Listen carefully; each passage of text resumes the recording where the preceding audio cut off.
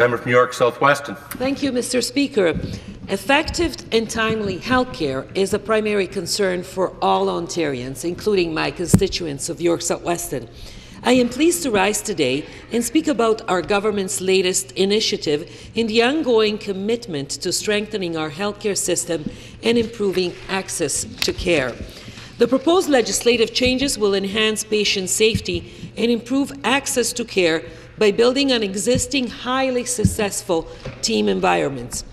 The increased collaboration between professionals such as nurses, pharmacists, physiotherapists, dietitians, midwives, and medical radiation technologists will ensure all Ontarians receive a high level of care.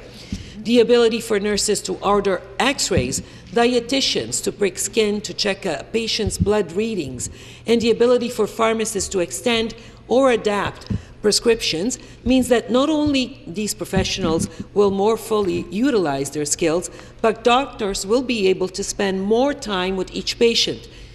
This will be widely welcomed by the residents of York South-Weston who support better access to health care and having more choices in who provides it. Mr. Speaker, this is a positive step in improving, improving access to care. Our government must remain dedicated to ensuring that our healthcare system is the best it can be. Thank you.